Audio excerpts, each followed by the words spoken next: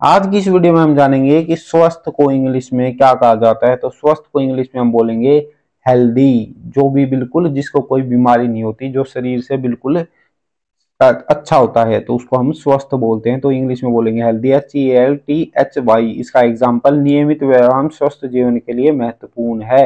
Regular exercise is important for a healthy life तो अगर आप डेली ऐसी वीडियोस देखना चाहते हैं तो हमारे चैनल को सब्सक्राइब करें वीडियो को लाइक करें, क्योंकि ऐसी वीडियोस हम डेली चैनल के ऊपर अपलोड करते हैं। Thank you for watching please subscribe to our channel